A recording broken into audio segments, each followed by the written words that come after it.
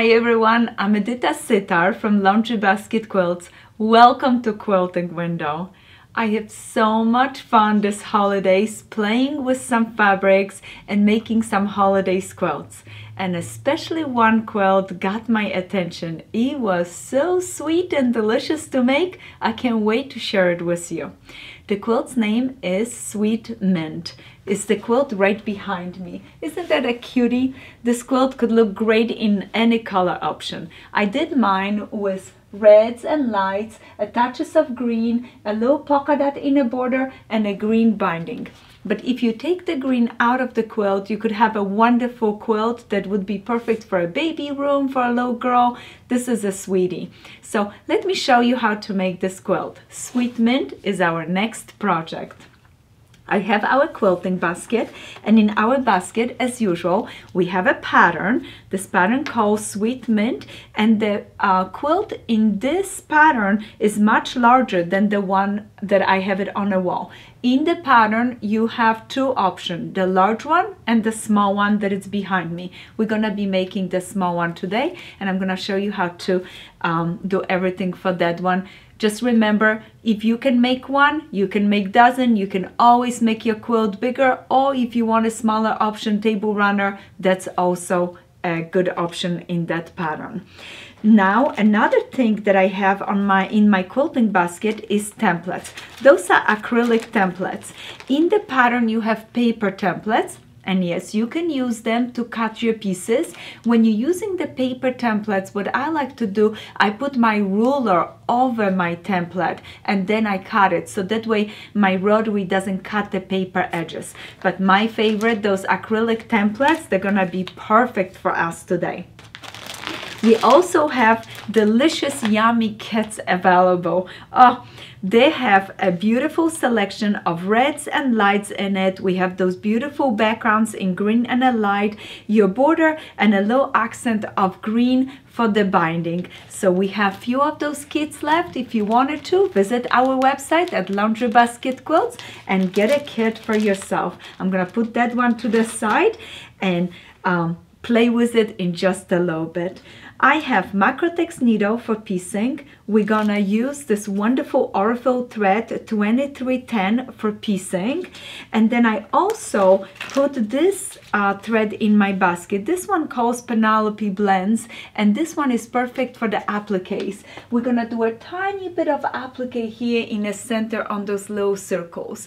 I chose fusible applique today to do it, but you can do hand applique for the low circles or do a machine applique. We're gonna go really quickly and do fusible and I'll have some fun with it.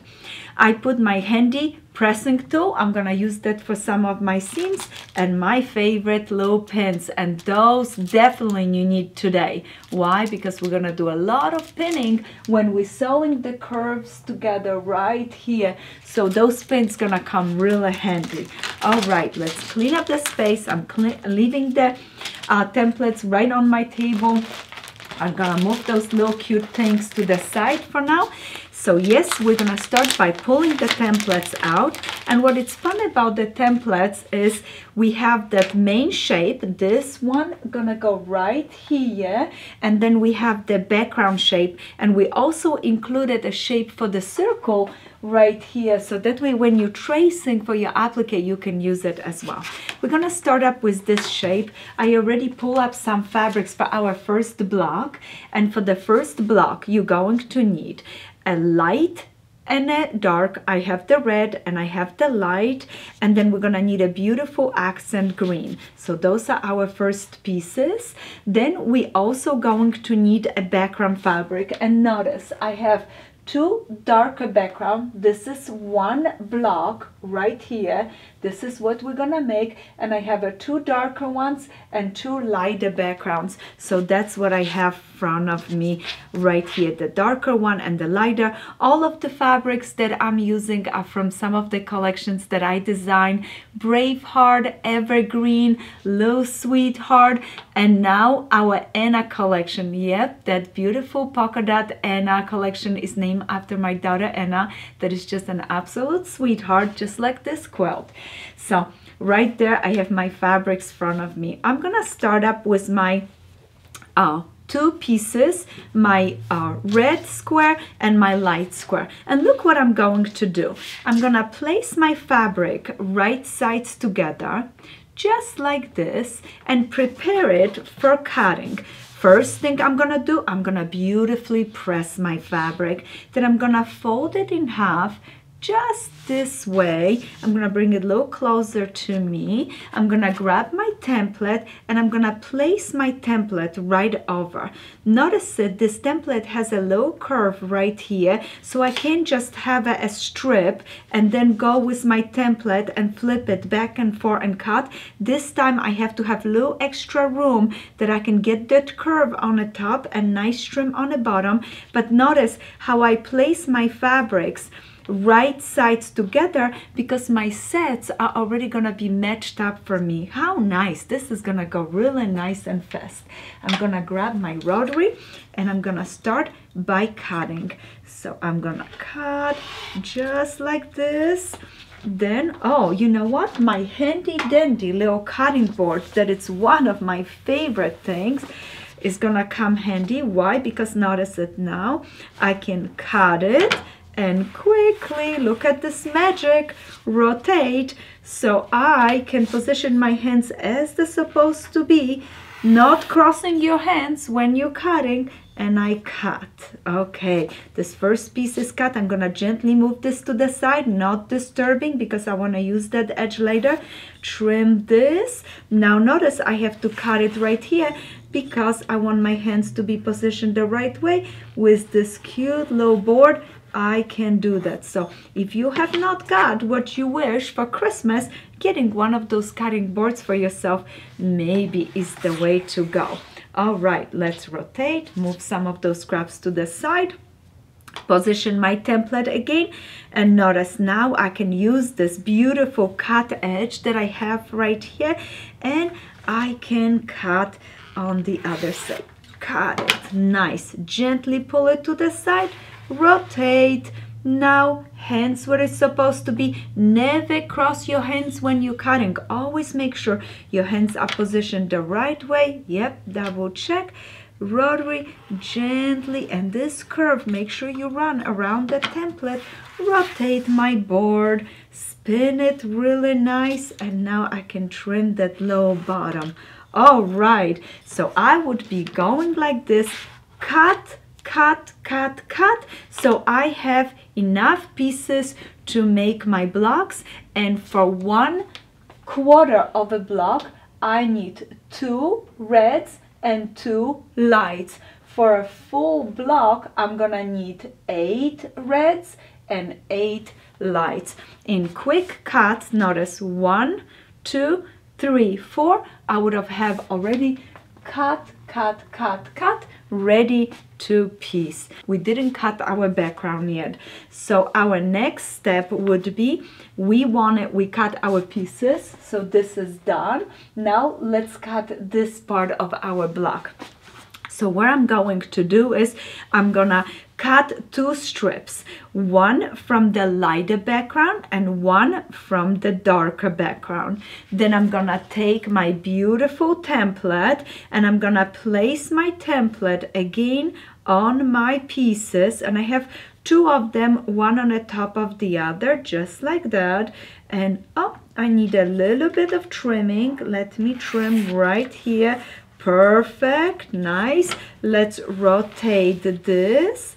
Now, slowly and gently, holding things down, I'm gonna go ahead and cut this way right here and come up here and cut and now look at I have my background cuts and because my fabric was folded in half I right away got two green and two beautiful lights. And this way I can have enough for one block. Two green two lights. And look at this. With this template notice it when I'm cutting my next pieces I can position really nice and snug. So I'm not wasting anything. I would have trimmed cut and I have another set for another block. But that's maybe later on. For now I'm excited about making one block. Let me clean some things up. We're done cutting and we are ready for the next step. Oh let's keep our templates on the table. We are ready for our next step. What is piecing things together? So what I'm going to do is I'm going to now grab two pieces together and notice as I was cutting everything was folded right sides together so I myself always keep my light on the top and dark on the bottom. I position my pieces that way, dark on the bottom, light on the top. I have them beautifully matching. I'm gonna use uh, my favorite pins. I'm gonna pin it, pin it on the bottom. And guess what? If you would like to, and you don't remember exactly where is your quarter inch seam allowance, you can also use those cute little holes right here to mark and a mark and then sew straight down following dot to dot. I practice a little bit and my quarter inch seam allowance have not fell me yet. So I'm gonna start sewing from the top straight down to the bottom. Zoom zoom zoom. Next one next one next one. And I'm gonna repeat it this uh, two times for one quarter of the block. I'm gonna do it uh, eight times, eight sets of two for a full block. Look at those are our two right here. So I just finished sewing. Do you see? I'm gonna grab my little scissors or I can use a rotary to separate. I did a little chain sewing and oh, how cute this look. I just open it up and this is what I'm going to do from the back. I'm gonna open that seam. Why am I opening the seams? In the pattern, you have directions that you can push your seam allowance towards the dark. That's number one to do it. But many times lately, I noticed that I'm either opening my seams or pushing them towards light or towards dark because I'm planning how I'm going to quilt my quilt. So the quilting really impacts how you want to push your seam allowance. And for this quilt, I'm planning to do edge to edge overall quilting and if you come closer to this quilt it's a design with little cookie cutters on it. How sweet for holidays. So I wanted to do edge to edge so I want all my seams to be nice and flat and I just open the seams and you can either finger press or use your iron or you can use this cute little tool where you can nicely just open like this do another one open it up and notice it now I have two sets of two. For one quarter of the block I'm gonna place them right sides together just like this.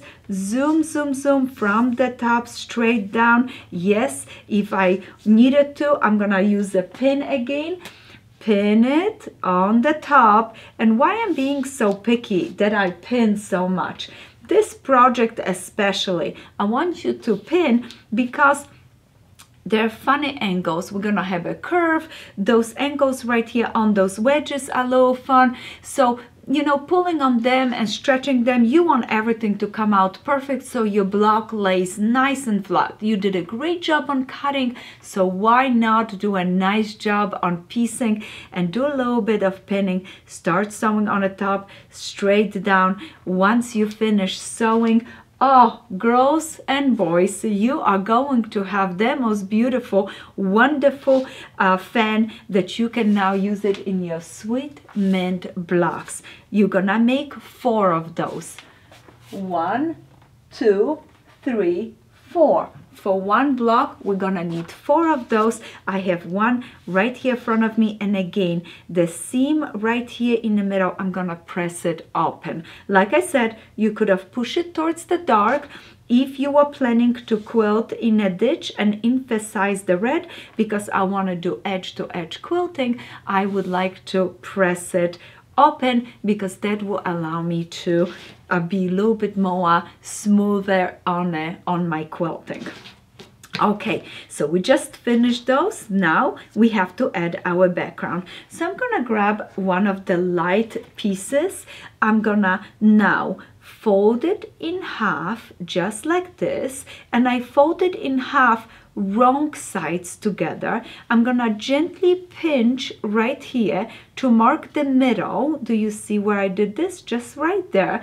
And now I'm gonna place this right on the top of my little wedge right there. Notice it, it's right here. And those pins are now coming really nice and close to me. One of my friends long time ago made this pin cushion for me and I just love that one. So thank you for doing that for me. And right there, I'm gonna pin it. This would be the first pin that I'm gonna put down. Many times we worry about the curve, but don't you worry, I got this, I got this with you, we can do this. We're gonna keep the fan in the bottom and we're gonna keep the background on the top. Now my next step is I'm going to bring this side to this edge right there and I'm gonna put a pin right there. I'm gonna pin it really nice. And if you need to hold this in your hands like this I'm not worried about this area. I'm just worried about that middle beginning and the end are perfectly matching. Take your time and your curves are going to be beautiful. And notice when I'm pinning I'm keeping the heads of my pins to the outside because as I'm sewing, I'm to be pulling them so I don't run over my pins.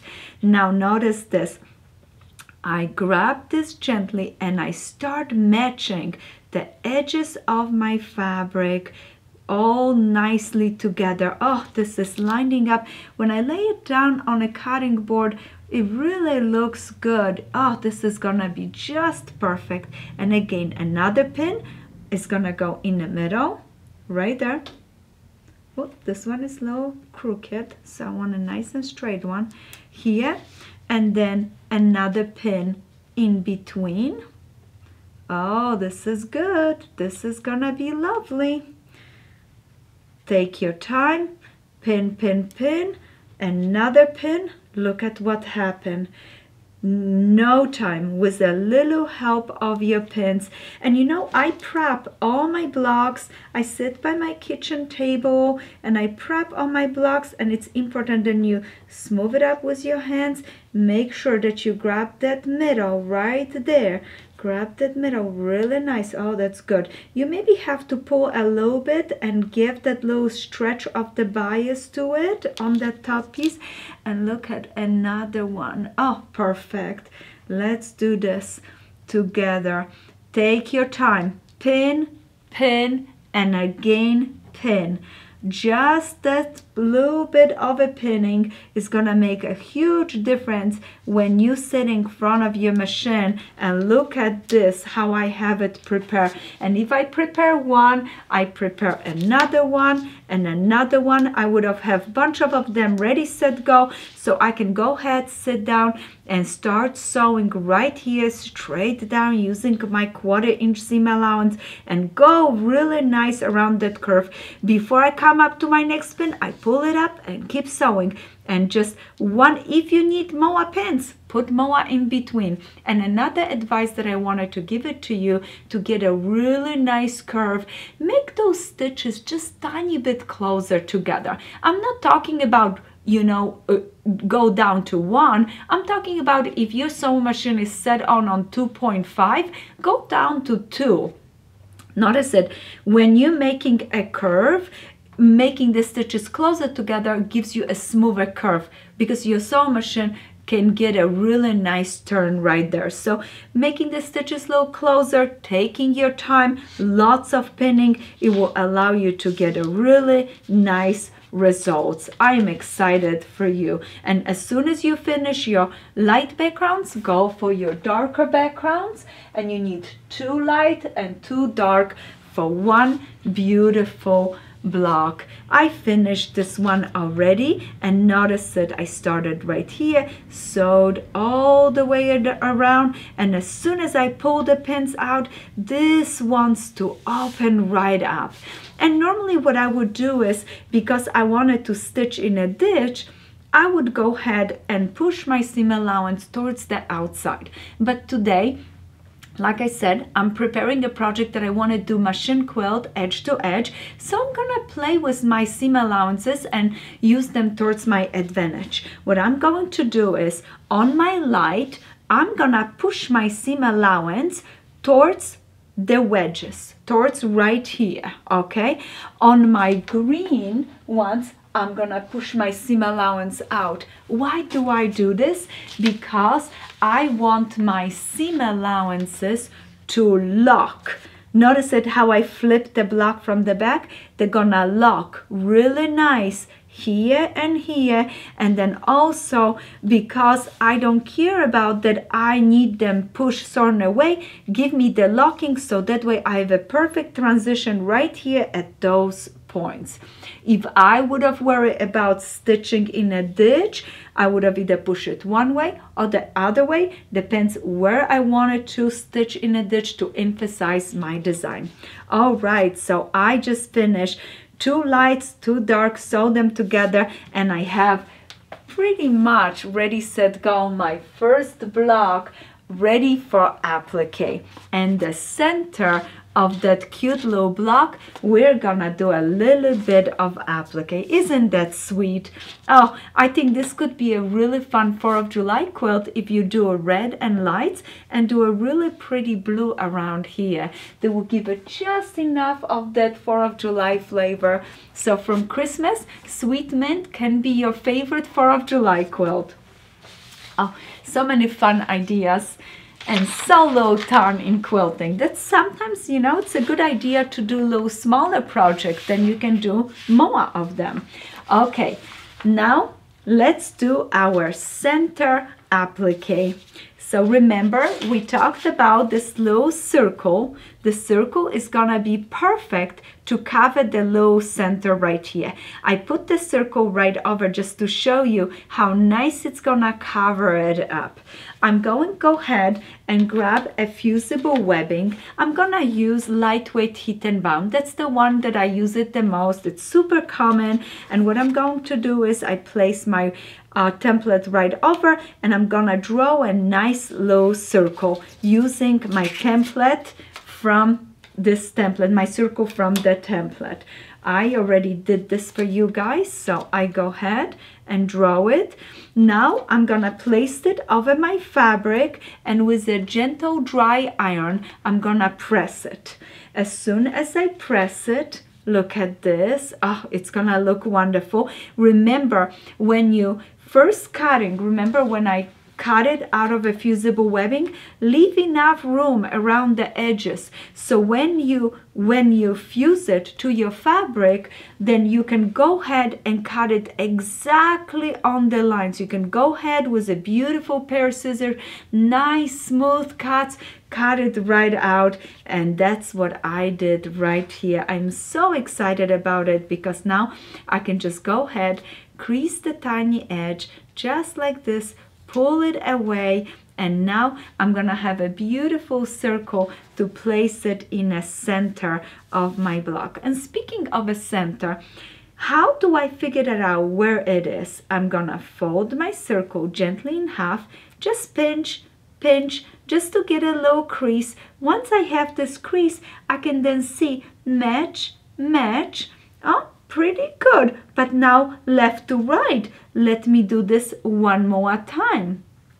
Pinch, pinch, and now I have a perfect X so I can center up my circle and I know for sure that when I press it down I'm gonna cover all of the edges.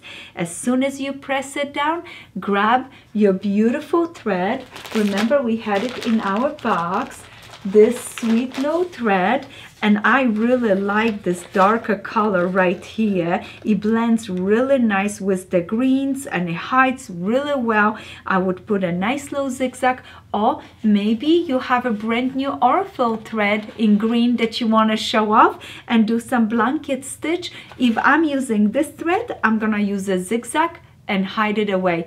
If I'm going to use the Aurifil thread and I want to show off the stitches, I'm gonna go ahead and do a blanket stitch, button stitch, satin stitch, add a little bit of stitches to it. It's gonna be lovely.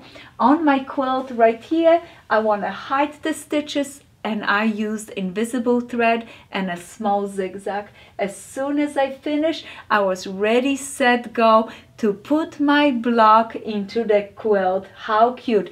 And I have to tell you, when I finished the blocks, I looked at them and I was very tempted to just add two sashing on a left and a right and make them as my placement for our holiday table. It was so cute.